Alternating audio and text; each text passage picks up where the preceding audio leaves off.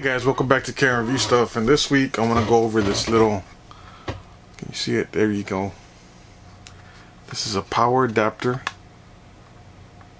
right? Gives you 1250 watts so you can hook up your microwave, it'll be safe.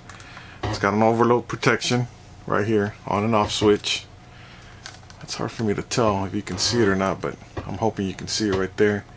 And then you've got your four USB each one of these is at 2.4 amps, which gives you fast charging. Your 5 foot cable. And little pads on the back. Right, so it's not slipping everywhere. And what I really love about this, how compact this thing is. It's super small compared to my last one. Or I should say I still have it. This massive thing is almost three times as big as this. So, keeping this one. Thank you guys. Don't forget to like and subscribe. Peace.